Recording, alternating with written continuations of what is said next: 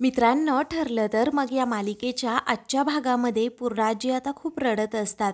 प्रतिमा घरी आल्यामुळे त्यांच्या आनंदाला पारावारा राहिलेला नसतो परंतु प्रतिमा एक शब्द देखील तोंडातून काढत नसते. ती कुणाबरोबर काहीही बोलत नसते फक्त सायलीच्या पाठीमागे लपलेली असते. त्यामुळे घरातील सर्वजण आता तिच्याकडे पाहतच राहतात. पूर्णाजी रडतच म्हणतात अगं प्रतिमा बोल ना माझ्याशी तू काहीतरी. अगं तुला शेवटचं मिठीत घ्या घ्यावं हीच माझी इच्छा आहे. मला फक्त प्रतिमाने पूर्णाई अशी हाक मारली ना मी इथल्या इथे डोळे मिटायला मोकळी. असं म्हणून ते अजूनच रडतात. आता पूर्णाजींची ही झालेली अवस्था पाहून घरातील सर्वजण त्यांना सावरतात. मग आता अर्जुन म्हणतो पूर्णाजी आपण एक काम करूयात ना आपण थोडं शांत राहूयात कारण प्रतिमा आत्याला सावरायला सुद्धा थोडा वेळ आपण देऊया. आपण एवढ्या वर्षांनी भेटलो आहोत म्हटल्यावर तिला तेवढा शॉक बसला असेल तेव्हा प्रतिमा मात्र आपला चेहरा लपवत सगळ्यांकडे पाहत राहते.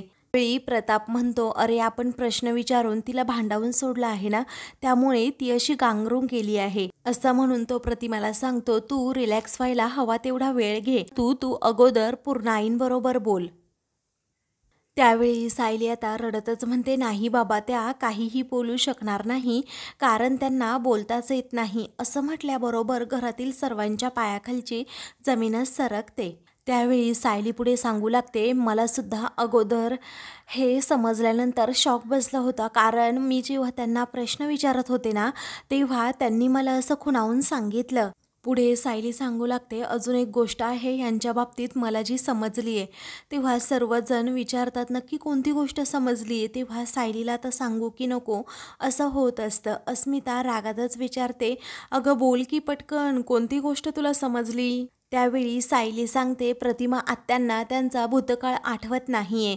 आता हे ऐकताच घरातील सर्वांना डबल धक्का बसतो. त्या तुमच्यापैकी कुणालाच ओळखत नाहीये म्हणूनच अशा त्या खूप घाबरून गेल्या आहेत असं आता सायली सांगते. त्यावेळी पूर्णाजी आता रडतच म्हणतात देवी आई तू अशी परीक्षा का घेतेस ग?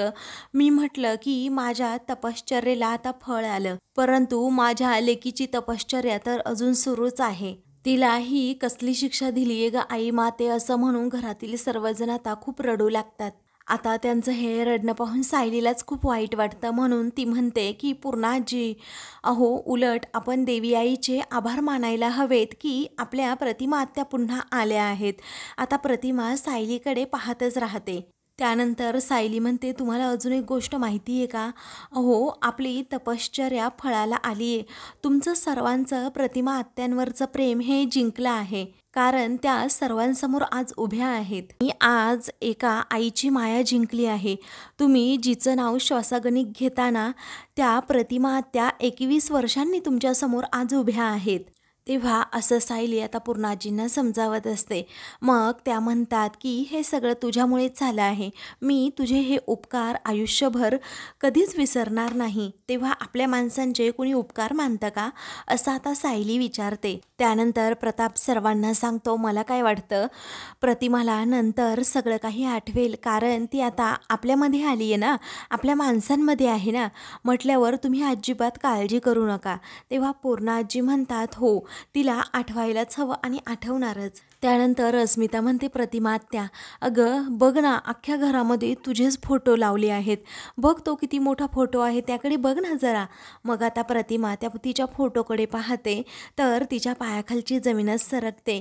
कारण अगोदर ती कशी दिसायला होती आणि आता चेहरा किती विद्रूप झाला आहे हे तिला सगळं काही आता तिच्या डोळ्यासमोर दिसत असतं. त्यामुळे ती कोलमडून जाते. तेव्हा प्रतिमाला आता धक्का बसतो. त्यामुळे आता घरातील सर्वजण तिच्याकडे पाहतच राहतात. मग आता चैतन्य म्हणतो नाही. आता कोणीच त्यांना कोणतेच प्रश्न विचारायचे नाहीत. नाहीतर उगीच त्यांना स्ट्रेस येऊ शकतो. सायली लगेच प्रतिमाजवळ जाते आणि त्यांचा हात घट्ट पकडून ठेव त्यानंतर अर्जुन आता सर्वांनाच विचारतो मला एक गोष्ट कळत नाही. जर प्रतिमा त्या जिवंत आहे तर मग आपल्याला डेड बॉडी कुणाची सापडली होती? जी रविराजला म्हणजे सिनियरला सापडली होती ती डेड बॉडी. त्यावेळी या प्रश्नाचं उत्तर फक्त रविराज सरस देऊ शकतात असं सायली म्हणते. तेव्हा अश्विन म्हणतो काय आहे ना आपण अगोदर रविराज सरांना कॉल करू आणि इकडेच बोलवून घेऊ. तेव्हा अर्जुन हो असं म्हणतो. सायलीला सांगतो कसं आहे ना सायली अगोदर प्रतिमा आत्याला आराम करू देत मग आपण सिनियरला इकडे बोलवूच. तेव्हा सायली हो असं म्हणते. तर दुसरीकडे आता प्रिया ही नागराजला म्हणत असते लवकरात लवकर ते दागिने रविराजपर्यंत कसे पोच पोचतील ना? याचा तुम्ही जरा विचार करा. कारण जर तुमच्या कपाटावर ते फिंगरप्रिंट सापडले तर मग तुमचं काही खरं नाही. तेव्हा नागराज म्हणतो मला अक्कल नको शिकवू मला सगळं कळतं. म्हणून तर महिपतच्या कपाटातून मी ते दागिने पुन्हा घेऊन आलो आहे त्या दोघांमध्येच असं काहीचं बोलणं सुरू असतं. रविराज आता समोर बसलेला असतो. तू त्याला काही समजत नाही या दोघांची. नक्की काय खुसूरफुसूर सुरू आहे? काही वेळातच आता अर्जुनचा त्याला कॉल येतो. तेव्हा अर्जुनचा एवढ्या रात्री कॉल असं रविराज विचारतो. तर प्रिया आणि नागराज दोघेही खूप घाबरतात. मग आता अर्जुनने पुन्हा केसची तारीख मागून तर घेतली नसेल ना? असं प्रिया नागराजला विचारते. तेव्हा तो म्हणतो मला कसं माहीत असणार? तिला फक्त एकाच गोष्टीची भीती वाटू लागते. ते म्हणजे नवीन काही पुरावे जर अर्जुनला सापडले तर खूप मोठा प्रॉब्लेम होऊ शकतो. इकडे रविराज विचारतो काय रे अर्जुन बोल ना. मग आता तो म्हणतो सिनियर तू घरातील सर्वांना घेऊन इकडे आमच्या घरी ये कारण खूप इम्पॉर्टंट आहे. तेव्हा पूर्ण आईची तब्येत बरी तर आहे ना? असं रविराज विचारतो. मग आता अर्जुन म्हणतो हो पूर्ण आजी एकदम बऱ्या आहेत. तू इकडे ये आल्यानंतर तुला सगळं काही समजेल कारण खूप इम्पॉर्टंट आहे. तेव्हा ठीक आहे असं रविराज म्हणतो. त्यावेळी प्रिया लगेच विचारते बाबा काय झालं? अर्जुनचा कॉल आला होता. मग आता रविराज म्हणतो अगं आपल्याला अर्जुनने लवकरात लवकर सर्वांनाच तिकडे सुभेदारांच्या घरी बोलवले. कारण खूप महत्त्वाचं काहीतरी त्याला सांगायचं आहे मग आता प्रिया खूप घाबरते. तिला असं विचार येतो की आम्ही अलिबागला गेलो होतो ते तर अर्जुन सांगणार नसेल ना? त्यावेळी आता ती खूपच घाबरते. मग रविराज म्हणतो सर्वजण चेंज करून या अगोदर. इकडे सायली आता घरातील सर्वांना काय काय नक्की घडलं हे सगळं काही सांगते. कशा प्रकारे मी अलिबागला गेले आणि मग तेथे जाऊन मला प्रतिमा आत्या भेटल्या होत्या पण यांचा विश्वासच नव्हता. त्यावेळी आता कल्पना म्हणते सायली अगं पण तू तर कुसुमताईंकडे गेली होती. मग अर्जुनबरोबर अलिबागला कशी? तेव्हा सायलीला आता काय उत्तर द्यावं कळत नाही. मग आता अर्जुन म्हणतो काय आहे ना मम्मा ॲक्च्युली सायली तिकडेच गेली होती कुसुमताईंकडे आणि मग नंतर तर असं म्हणून तो काहीच बोलत नाही. पूर्ण आजी म्हणतात की कल्पना त्या दोघांना काहीही विचारू नको. खरं तर देवी आईचाच हा संकेत असेल की सायलीने अलिबागला जावं आणि माझी प्रतिमा तिलाच भेटावी. कसं आहे ना नवरा ज्या शहरात आहे तिथे बायकोने जाणं हे कितीस कठीण आहे असं म्हणून आता पूर्णाजी प्रतिमाकडे पाहतच राहतात. मग आता अर्जुन म्हणतो मम्मा असंच घडलं होतं. तेव्हा कल्पना आता त्याच्याकडे पाहून हसते. तेवढ्यातच रविराज त्याचबरोबर घरातील सर्वजण आता तेथे येतात. तेव्हा पूर्णाई काय झालं असं रविराज पटकन आतमध्ये येत पूर्णाजींना विचारतो. तेव्हा त्या म्हणतात रविराज असं म्हणून त्या खूप आनंदाने आता सगळ्यांकडे पाहत असतात. तेव्हा रविराज विचारतो अरे अर्जुन काय झालं? पूर्णाईच्या डोळ्यात पाणी कसं? तेव्हा प्रतिमा आता रविराजकडे पाहतच राहते. ती जिन्यावर तेथे बसलेली असते परंतु अजूनही कुणाला दिसलेली नसते. तेव्हा आता प्रिया लगेच इशारा करून विचारते काय झालं ग अस्मिता? मग अस्मिता म्हणते थांब जरा. नंतर पूर्ण आजी म्हणतात की आपण ज्या क्षणाची वाट पाहत होतो ना तो क्षण आता आलाय. तेव्हा आता पूर्णाजी या प्रतिमाकडे त्याला इशारा करतात. तेव्हा रविराज आता हळूच त्या जिन्याजवळ जातो आणि तेथे समोर नक्की कोण आहे हे पाहत असतो.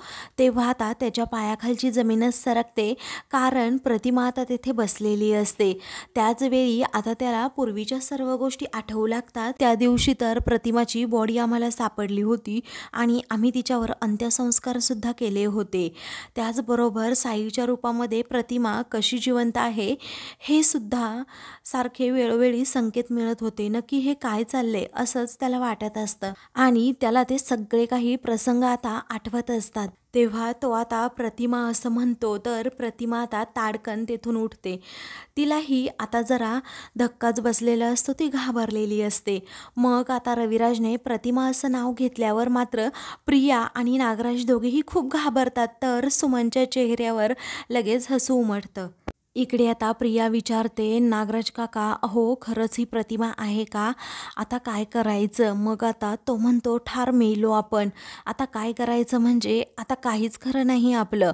मग आता प्रिया विचारते ही जिवंत कशी ही तर मेली होती ना? मग आता नागराज म्हणतो की काय करायचं कळतच नाही. असं म्हणून त्याला आता दिवसाच तारे दिसू लागतात. त्या दोघांचीही बत्ती गुल झालेली असते. त्या दोघांनाही प्रचंड धक्का बसलेला असतो. तर इकडे रविराजला आनंद देखील झालेला असतो आणि धक्कासुद्धा बसलेला असतो. कारण रविराज म्हणतो की प्रतिमा अगं तू मला जशी दिवसा आणि रात्री स्वप्नात दिसते जसा मला तुझा रोज भास होतो तसा आत्ताही भास होत आहे का प्रतिमा? अगं तू या नव्या अवतारात नव्या वेशात माझ्यासमोर उभी आहेस. आता प्रतिमाला काहीच आठवत नसतं ती फक्त सायलीकडे पाहत असते. ती पूर्णपणे गांगरून गेलेली असते. तो आता रविराज खूपच इमोशनल झालेला असतो. तेव्हा प्रिया आता मनातल्या मनात विचार करत असते मला रविराजपेक्षा जास्त ड्रामा करायला हवा. हिला पटेल की मीच हिची मुलगी आहे म्हणून. तेव्हा ती धावतच प्रतिमाजवळ जाते आईनी आई असं म्हणून तिला पटकन मिठी मारते. परंतु प्रतिमा आता खूपच घाबरलेली असते. घरातील सर्वांच्या डोळ्यात आनंदाश्रू असतात.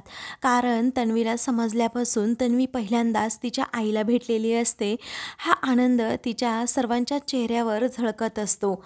त्यावेळी आता प्रिया म्हणते आई तू मला सोडून का गेली होती सगळं? असं का केलंस तू? मला माहीत होतं की तू जिवंत असणार आहे. कारण मला वेळोवेळी तसे भास पण होत होते. मग आता प्रियाचं असं बोलणं ऐकून प्रतिमा जरा घाबरत असते आणि सारखी सारखी सायलीकडे पाहते. तेव्हा पुढे आता रविराज म्हणतो आज आपल्या आयुष्यातील सर्वात आनंदाचा दिवस आहे प्रतिमा. अगं हाच दिवस बघण्यासाठी मी जगत होतो आणि नियतीची हीच इच्छा असेल की मी हा दिवस बघावा असं म्हणून रविराज अजूनच इमोशनल होतो. तर आता घरातील सर्वांना देखील आनंद झालेला असतो कारण आता पूर्ण फॅमिली एकत्र आलेली असते त्याचबरोबर एवढी दिवस प्रतिमाची सर्वजण प्रतीक्षा करत असतात. ही पण प्रतीक्षा आता संपलेली असते आणि सर्वांची प्रार्थना सुद्धा फळाला आलेली असते. इकडे नागराज मात्र खूपच घाबरलेला असतो. त्याला काय करावं सुचत नाही. तेव्हा त्याला आता आठवतं एकदा मार्केटमध्ये मी प्रतिमाला पाहिलं होतं.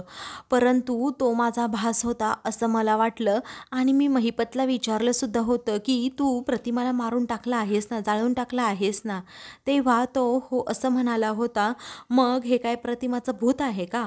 असं म्हणून तो आता लगेच तिच्याकडे पाहत राहतो. त्यातच प्रतिमाजवळ आता सुमन जाते आणि म्हणते वहिनी मला खूप आनंद झाला आहे. तुम्हाला मी काय सांगू? एवढा आनंद झाला आहे ना की माझ्या आनंदाला पारावारच राहिला नाही. अहो तुम्ही परत येणं ही रविराज भाऊजींच्या प्रेमाची ताकद आहे वहिनी. असं म्हणून आता सुमन ही खूपच खुश होते. तिच्या चेहऱ्यावर तसा आनंद देखील दिसत असतो. मग आता मुद्दामच प्रिया पुढे पुढे करत हो आणि माझ्यासुद्धा प्रेमाची ही ताकद आहे असं म्हणते. तेव्हा आता प्रिया म्हणते की आई मी तुला कुठेही जाऊ देणार नाही आहे असं म्हणून ती तिचा हात पकडते आणि म्हणते की मी आता सर्व माझ्या प्रेमाची कसर भरून काढणार आहे असं म्हणून आता ती सारखा सारखा प्रतिमाचा हात पकडत असते. तेव्हा तो स्पर्शच आता प्रतिमाला नको असतो तिला ते असह्य होतं. कारण तिच्यामध्ये माया आपुलकी प्रेम हे प्रतिमाला अजिबात दिसत नाही.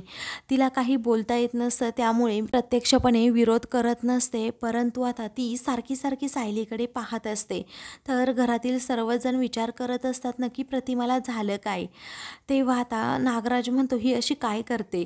त्यावेळी मनातल्या मनात विचार करत तो प्रतिमाकडे पाहतच राहतो. मग आता रविराज देखील विचार करतो की प्रतिमा अशी का करते? तन्वीजवळ का जात नाही? तन्वीचा स्पर्शसुद्धा का नको आहे तिला? मग आता प्रतिमा एक पटकन हात तिचा सोडते आणि धावतच सायलीला जाऊन मिठी मारते. त्यावेळी घरात घरातील सर्वजण त्या दोघींकडे पाहतच राहतात. कारण फक्त सायलीचाच आधार प्रतिमाला आता वाटत असतो बाकी कुणाचाच नाही. तर आता मित्रांनो पुढील भागामध्ये सायली आता प्रतिमाला रूममध्ये घेऊन जाते आणि तेथे गेल्यानंतर म्हणते की प्रतिमा आत्या तुम्ही अजिबात काळजी करू नका. इथेच तुम्ही अगदी शांतपणे राहायचे आणि तुम्हाला या घरामध्ये ना खूप प्रेम मिळणार आहे आणि ते प्रेम स्वीकारण्याची ताकद आता तुम्ही तुमच्या मनात ठेवायला हवी. ते तेव्हा प्रतिमाच्या चेहऱ्यावर स्मित हास्य आता येतं. मग आता ती खूप कौतुकाने सायलीकडे पाहत असते. तर दुसरीकडे प्रिया ही पूर्ण आजीला म्हणते तू या सायलीला काही सांग ना ग पूर्ण आजी कारण माझी आई आपल्या दोघींसाठी किती महत्त्वाची आहे ना हे त्या सायलीला कळत नाही तिला प्रसंगाचं गांभीर्यच नाही. त्यावेळी पूर्णाजी म्हणतात की खरंच प्रसंगाचं गांभीर्य कळत नाही हेच खरं पण ते सायलीला नाही तुला असं म्हणून त्या प्रियाला चांगलंच डाफरतात. अशाच मालिकेंचे पुढील भाग पाहण्यासाठी चॅनलला सबस्क्राईब करा.